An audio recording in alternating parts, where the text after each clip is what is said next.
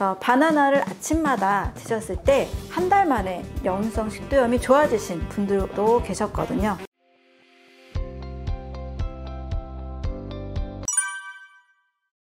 네, 클렌징이라는 것이 몸을 깨끗하게 씻어낸다는 의미잖아요. 해독에 도움이 되는 스무디라고 할 수 있습니다. 그래서 이 해독에 도움이 되는 스무디는 과일과 야채의 적절한 조합으로 이루어지는데 어, 많은 분들이 이제 많은 야채 과일을 무조건 많이 갈아 먹는 게 좋다라고 생각하시는 분도 계시고 또 실제 그렇게 효과를 본 분도 물론 계십니다. 네, 그런데 그렇게 하기에는 뭐 경제적으로나 좀 불편함이 많이 따르기 때문에 과일 하나, 야채 하나 정도만 1대1 정도로 섞어서 여기에 물을 또 동량의 물을 같이 넣습니다. 예를 들면 사과 뭐 100g, 양배추 100g 하면 200g이죠. 물 200g 넣으면 이제 전체적으로 400g의 스무디가 만들어지는 거죠. 이런 식으로 과일과 야채에 들어있는 예, 여러 다양한 비타민과 미네랄 성분들을 계속 먹게 되면 우리가 그전에는 만약에 과일 야채를 많이 먹지 않고 가공식품을 많이 먹었다면 몸에서는 나트륨이나 또 좋지 않은 미네랄들이 많이 쌓여 있을 가능성이 높습니다. 이런 것들을 클렌징 해주는 거죠. 다 씻어내 줍니다. 과일과 야채에는 칼륨이 많아서 몸에 쌓여있는 나트륨을 많이 빼내주고 여성분들이 많이 겪고 있는 저녁에 다리가 붓는 현상 있죠?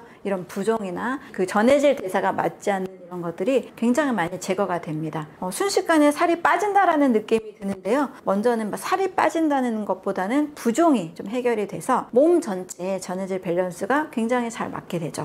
계속 드시게 되면 과일과 야채에 들어있는 예, 좋은 비타민, 미네랄 성분들로 인해서 지속적으로 장과 간도 튼튼해지고 또 위도 튼튼해지는 효과가 있습니다. 만약에 바나나와 양상추를 갈아서 아침마다 드신다면 바나나에 있는 베타카로틴이나 뭐 비타민, 미네랄 성분들이 위 건강에도 도움이 돼서 역류성 식도염 있는 분들, 위염이 있는 분들에게도 큰 도움이 될 수 있습니다. 그래서 몸에 들어있는 여러 독소들을 해독하고 또 건강한 세포들로 분열하게 만드는 좋은 스무디가 될 수 있습니다.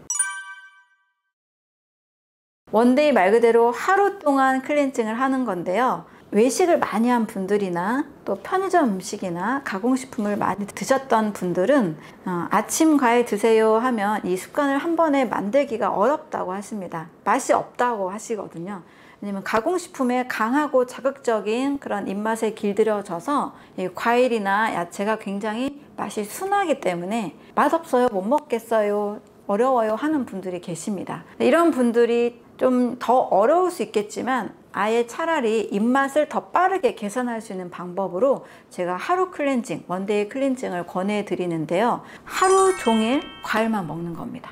그런데 양의 제한이 없어요. 어, 양을 제한하지 않고 마음껏 드시라고 합니다. 뭐 사과도 먹고 싶은 대로 바나나도 한 송이 뭐 6, 7개, 8개 있잖아요. 이것도 한 번에 다 드셔도 되고 또 뭐 제철 과일로 요즘 뭐 참외가 있으면 참외도 뭐 오렌지도 수박도 하루 종일 과일만 드시는 것을 저는 추천을 드립니다. 이렇게 할 경우에 예, 과일에 있는 수분이나 영양소가 에너지를 계속 공급해줘서 예, 일부러 예전에 굶는 다이어트를 하시는 분도 계시고 간헐적 다이어트 하시는 분도 계시잖아요. 또 한 시간 동안 러닝머신에서 정말 그 모든 것을 집중해서 뛰는 분도 계시잖아요. 이것보다 훨씬 이게 쉬울 수 있는 거죠.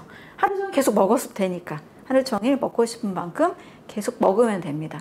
그래서 하루 종일 과일을 드시게 되면 그것에 대한 효과로 입맛 개선이 되고요. 또 몸에 있는 충분한 여러 영양소들이 들어가고 좋은 수분이 공급이 됩니다. 그래서 그 다음부터는 입맛이 개선이 되기 때문에 건강한 음식을 먹었을 때 과일과 야채를 먹었을 때 그렇게 거부감이 들지 않고 자연의 것이 맛있다라는 느낌이 오게 되는 거죠.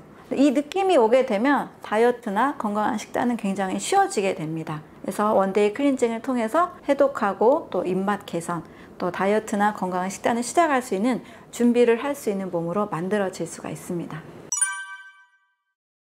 네, 그런 말이 있죠. 간헐적 단식의 장점에 대해서 이제 음식을 계속 먹는 것만 중요한 게 아니라 몸에 있는 것들을 내보내는 기능 중요하다고 얘기를 하죠. 그래서 2016년에 노벨상을 받은 이것 중에 하나가 오토파지, 자가 포식작용이라는 이것이 있는데 우리가 음식물이 끊어졌을 때 우리 몸은 세포가 불필요한 세포나 여러 미토콘드리아들을 청소한다라는 개념이 있습니다. 한마디로 하면 세포 안에서 일어나는 해독작용이라고 볼 수가 있는 거죠. 그런데 간헐적 단식은 음식을 끊는 시간이 굉장히 길기 때문에 힘들잖아요. 이것을 뭐 일주일에 한 번 정도 단식을 해주는 것을 굉장히 추천하는 분들이 계시거든요. 저는 그만큼의 효과가 있다고 생각을 합니다.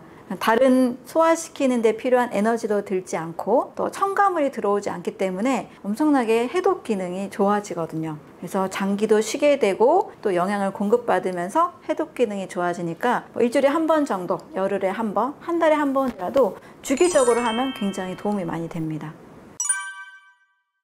수박은 시트롤린하고 아르기닌 성분이 들어있는 자연의 이뇨제라고 할 수 있습니다. 부종 있는 분들 또 신장 기능에 좀 불편함 있는 분들에게 굉장히 도움이 많이 되겠죠. 그리고 또 두 번째로는 콜레스테롤 대사에 도움이 돼서 지방 대사를 촉진시키는 효과가 있습니다. 다이어트에도 굉장히 도움이 되겠죠. 또 여름철에 수박 굉장히 시원하고 갈증을 해결하는 데 도움이 되잖아요. 이런 부분에서 도움이 됩니다. 그리고 수박에도 역시 토마토에 있는 라이코펜이라는 성분이 들어있어서 항염, 항암 성분 또 전립선암을 예방할 수 있는 성분이 되기도 하고요. 칼륨이 많아서 고혈압에도 도움이 됩니다. 또 수박은 100g당 당분이 5g밖에 되지 않아서 굉장히 당도가 낮은 과일이에요. 당이 있는 분들, 당뇨 전 단계 있는 분들에게도 안전하게 섭취할 수 있는, 먹을 수 있는 과일이 됩니다. 바나나는 굉장히 우리가 이제는 구하기 쉬운 과일이 됐죠. 운동선수들이 운동 전후에 예, 먹을 정도로 굉장히 근육 형성과 근육 파열을 막는 데 있어서 도움이 되는 성분입니다. 그래서 운동하는 분들 꼭 반드시 챙겨 드시면 굉장히 도, 좋습니다. 또 바나나는 정말 좋은 성분이 제가 너무 추천하는 게 바나나 속에 들어있는 베타카로틴이라는 성분이에요. 이 성분은 위 점막이 약한 분들의 위장 상피세포를 빠르게 분열할 수 있게 도와주는 성분입니다. 바나나를 아침마다 드셨을 때 한 달 만에 역류성 식도염이 좋아지신 분들도 계셨거든요. 그래서 위가 약한 분들에게 바나나는 아주 도움이 많이 됩니다. 또 다이어트에 있어서도 포만감을 주면서 에너지는 굉장히 많이 공급해 주기 때문에 다이어트 하시는 분들에게도 너무나 좋은 과일이 될 수가 있습니다. 또 바나나에 있는 트립토판 성분이 세로토닌 호르몬의 원료가 되거든요. 세로토닌이라는 호르몬은 편안한 집중력을 주는 행복 호르몬입니다. 너무 자극적이지도 않고 너무 처지지도 않게 안정적인 호르몬이라고 하는데요. 이 호르몬의 원료인 트립토판이 마음의 안정, 또 집중력, 또 저녁에 또 숙면을 취하는 멜라토닌 호르몬의 원료가 되기 때문에 숙면 훈련에도 도움이 되는 과일이라고 할 수 있습니다. 네, 과일을 먹는 두 가지 방법을 좀 설명을 드릴게요. 과일은 과일 자체로 씻어서 잘라서 씹어 먹는 것이 사실은 첫 번째는 제일 좋습니다. 그런데 이게 먹기 어려운 분들이 계세요. 뭐 치아가 좀 약하다거나 치아 치료를 받았다거나 또 도저히 씹기 싫어하는 어린아이들 또 좀 어르신들 이럴 경우에는 과일을 못 먹느냐? 그건 아니죠. 과일을 예, 갈아서 먹는 방법이 있습니다. 주의할 점은 과일을 갈면 일단 갈았기 때문에 빠르게 마실 경우 당분의 흡수율은 높아질 수밖에 없습니다. 그래서 과일을 갈 때는 조심해야 될 점이 야채와 함께 갈고 또 수분을 같이 물을 같이 섞어주는 것이 안전하게 먹는 방법이라고 할 수 있습니다. 또 모든 과일과 과일을 같이 가는 것보다 사과는 뭐 양상추나 양배추, 뭐 토마토 정도 당분이 적은 것 또는 당근 이렇게 짝을 짓고 바나나도 역시 당분이 적은 야채를 위주로 함께 가는 것이 좋습니다. 이렇게 먹을 경우에는 예, 마시는 편리함이 있으면서도 어린아이도 먹기 쉽고 또 어른들도 마실 수 있는 장점이 있죠. 하지만 몽땅 모든 과일들을 갈아서 먹는 것을 추천하지 않습니다. 한 가지 더 덧붙이자면 바나나 같은 경우에는 두유하고도 굉장히 잘 어울립니다. 두유와 바나나를 갈아서 먹게 될 경우 굉장히 고소하고 또 그렇게 당도가 높지 않으면서도 오래 가질 수 있는 과일 습관이 될 수가 있습니다. 이렇게 당도가 높지 않은 형태로 갈아서 먹는 방법을 응용하시면 과일을 지속적으로 오랫동안 먹을 수가 있습니다.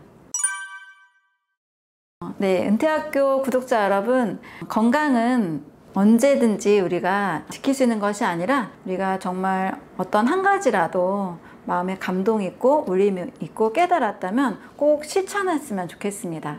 네, 아침에 과일을 하나 챙겨 드시는 것이 정말 한 시간 러닝머신 뛰는 것보다 훨씬 쉬운 습관이잖아요. 그래서 과일의 효과를 직접 경험해 보시고 계속 건강한 삶을 누리셨으면 좋겠습니다. 감사합니다.